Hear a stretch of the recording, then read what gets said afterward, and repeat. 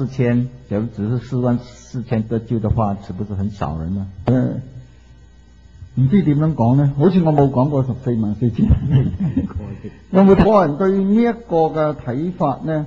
嗯，我认为呢个系一个象征性嘅数目，唔系确实嘅数目。第一，位王牧师认为呢，这个数目是象征性的数目。如果你留心睇睇嘅咧，就嗰度话诶，犹太嘅十二个支派。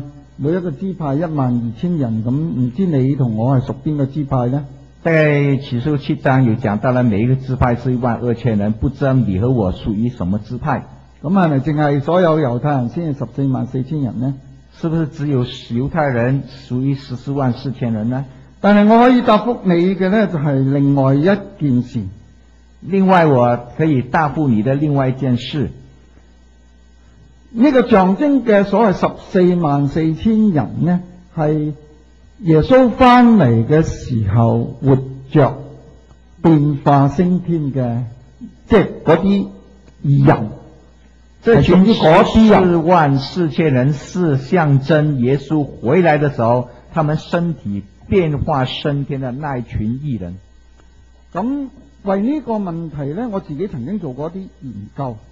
诶，为了这个问题，王牧师本身有做过一些研究。但系今晚我唔打算将嗰个研究过程同大家分享，因为时间都唔。因为时间关系，不打算把整个过程告诉大家。诶，我记得琴日安志诶上午嘅时候，我曾经喺度同大家讲到上帝嘅旨意。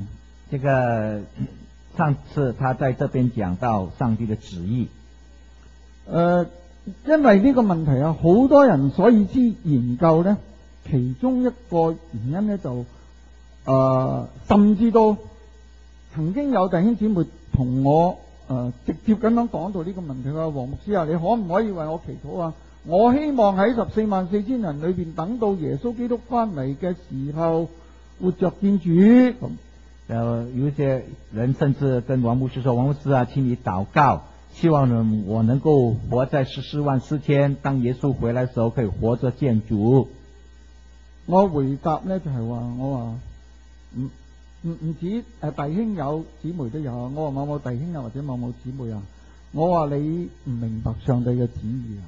王牧师说：，某某弟兄姐妹，你还不明白上帝旨意？再我讲多句咧，系好唔客气嘅说话。我话你太贪心啊。我讲一句很不客气的话，说你太贪心啦。因为佢话佢想喺诶十四万四千人里边有份活着见主啊嘛。我话佢你太贪心啦。因为他想啊，在十四万四千里面有他的份，可以活着见主。王母说：你这样想是太贪心啦。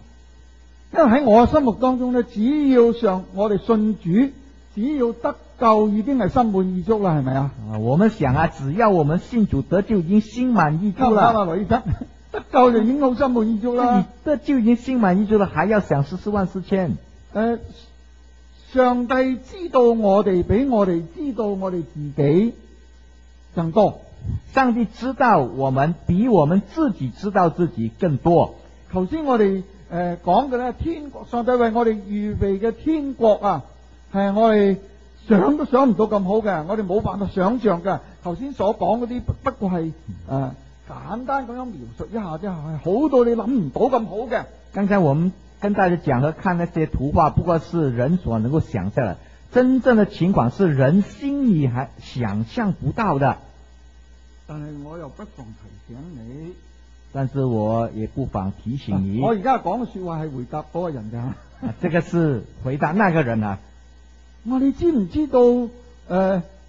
做十四万四千人等耶稣翻嚟，要经过七大灾难噶。你知不知道啊？要做十四万四千人，要要经历过最末了的七大灾难。睇书讲噶，唔系我讲噶。啊，慈你讲啊。我啊，七大灾难呢？据我所知道呢，就系啱啱同天国对比嘅七大灾难，就是跟天国这个美好的部分呢，刚刚是相反的。系坏到不能再坏嘅，即系很难受的情况。跟住我就咁样同佢讲，跟住我就对他说：，我话如果上帝为咗怜悯我，免去我受七大灾难嘅痛苦，叫我早啲安睡主怀。